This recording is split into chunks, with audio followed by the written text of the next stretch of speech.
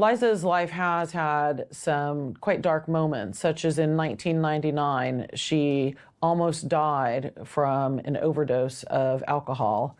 And this was literally on the 30th anniversary of the death of her mother, Judy Garland, which makes it doubly tragic and sad.